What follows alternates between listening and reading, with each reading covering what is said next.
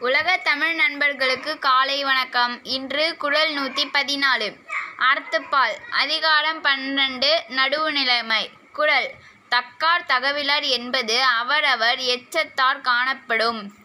தக்கார் தகவிலார் என்பது அவரவர் எச்சத்தார் காணப்படும். பொருள். நடுவுநிலைமை உடையவர் நடுவுநிலைமை இல்லாதவர் என்பது அவரவர்க்கு பின் எஞ்சி நிற்கும் புகழாலும் பழியாலும் காணப்படும்.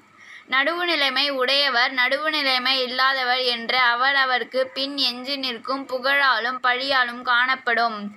தக்கார் தகவலர் என்பது அவரவர் எச்சத்தார் காணப்படும் என்று திருவள்ளுவர் கூறுகின்றார். நன்றி மீண்டும் நாளை சந்திப்போம். வணக்கம்.